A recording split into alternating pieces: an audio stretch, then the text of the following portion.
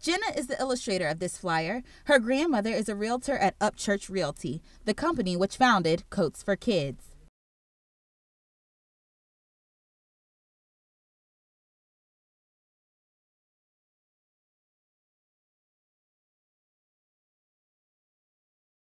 Jenna's little drawing encompasses the premise of a larger program. Coats for Kids was established back in 1993.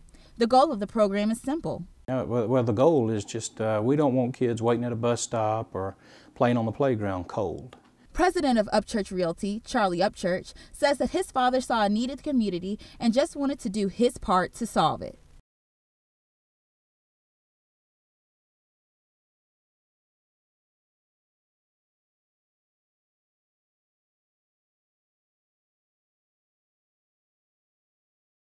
And the community definitely benefits. Last year, Coats for Kids raised about 200 coats. They've even had years where over 500 coats were donated. The, the community as a whole embraces it. We'll have teachers um, in the school system, the Clark and Oconee County school system.